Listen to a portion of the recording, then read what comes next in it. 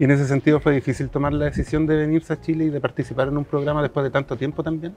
No, sabes que yo, mira, me cayó el mensaje y me sorprendí. eh, y como que no lo pensé mucho, lo conversamos sí, por supuesto, en familia, como para ver cosas técnicas, así como a dónde me voy a quedar, cómo me voy a mover, que, cuáles son las fechas, cómo podríamos hacer con los niños, etcétera.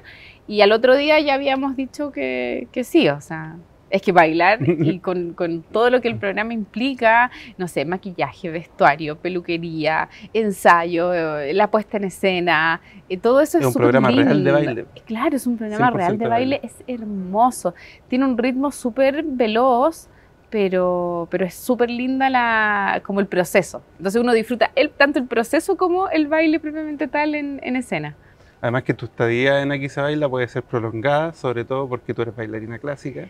Entonces tienes ahí el, el Hay, talento como, innato. hay una, ven- una pequeña ventaja técnica, pero que también todavía yo me estoy como desempolvando, así como que las articulaciones todavía me duelen, ¿viste? Sí, hay como que se me, se me traban, hay cosas en el baúl que yo sé que con, con el pasar del tiempo voy a ir recuperando las líneas, los giros, posturas, que, que por ahí tienen que ver, que se pierden, en realidad no se pierden, sino que falta como practicarlas, Mm, nomás sí. es como el idioma, no sé si hablas otro idioma, de repente hay palabras del vocabulario que se te olvidan, acá con la danza pasa lo mismo. El primer ensayo me dijeron así como un glissade, y yo así, glissade, glissade, ¿cuál es ese? ¿Cuál es? Buscaba así como en la enciclopedia de la danza dónde estaba el, cuál era ese paso con ese nombre, pero ya estamos casi que recuperadas.